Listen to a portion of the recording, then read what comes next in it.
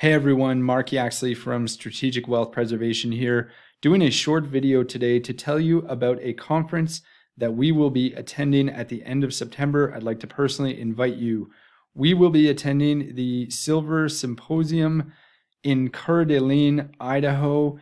It is a physical conference dedicated entirely to uh, the the subject of precious metals. So if you're a gold or silver enthusiast, this is the place you will want to be for a few days. It is taking place September 27th and 28th in Coeur Idaho, which is a beautiful little town nestled on a lake. It features one of America's best golf courses. So, again, if you're a golf enthusiast, another reason to attend the conference.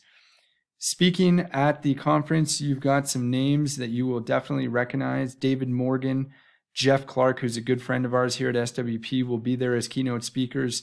Brien Lundin, a newsletter writer that's been covering the precious metal space for decades, will be keynote speaking as well. You've got myself, Peter Spina, um, also uh, presenting at the event. So, great opportunity to come and network with thought leaders in the space, to network with other like minded investors.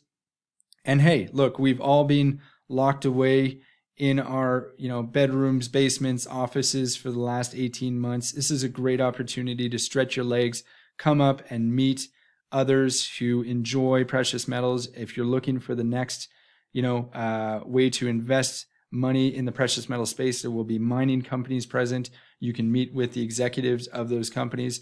And there's even a portion of the conference that is dedicated to crypto. So a lot of things to learn about. I think it's going to be a great two days. I'm really excited about being back in Coeur d'Alene myself, and I look forward to you being there. The best part is that registration is free. It does not cost you anything to attend the conference. All you have to do is get yourself up there, book a hotel room, and come join us for two days. Look forward to seeing you there.